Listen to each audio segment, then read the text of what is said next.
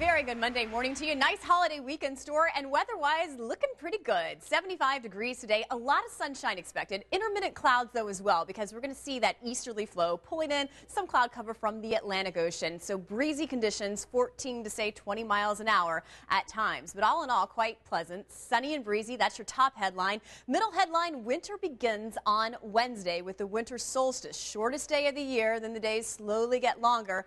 But ironically for us here in South Florida, we're going to be warmer than average. Temperatures hovering right around 80 into the low 80s possibly by Christmas. Stay tuned for your seven day forecast throughout our newscast and make it a great Monday.